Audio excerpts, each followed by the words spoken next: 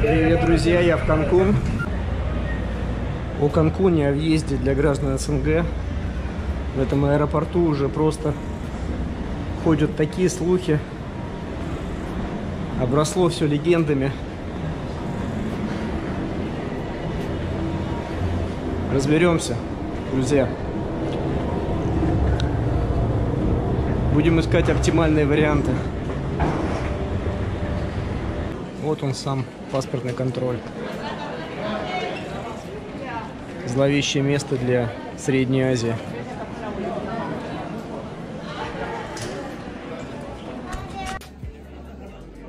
Самая коррумпированная площадка. Аэропорт Канкун.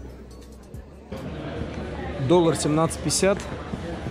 17 с половиной песо за доллар. Вот у этих ребят лучше не арендовать, они депозиты не возвращают.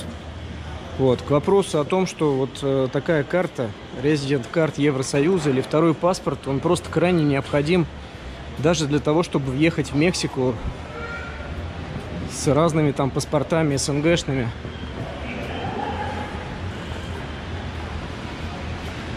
То есть, э, имея даже ВНЖ Польши, ну, имея ВНЖ Польши, рабочую визу в Польше, для вас открывается также и въезд в Мексику. И также вы сможете подать на американскую визу в Варшаве или в Кракове.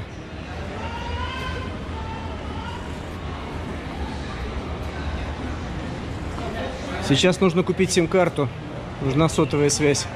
Вот в этой кафешке готовил и семью из Украины, ребята из Таджикистана встречались.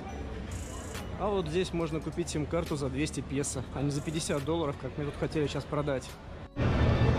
Ну тут вообще нормальные тарифы. 200 песо я всегда ее покупаю. Сюда входит безлимитный Facebook, Instagram. Ну то, что нужно. И девчонки вот взяли мой телефон, сейчас помогают поменять сим-карту.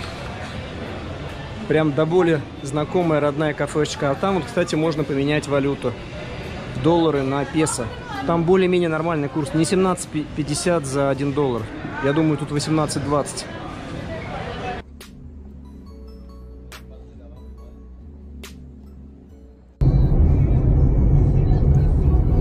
Вот решил из Канкун поехать в Плая дель Карман.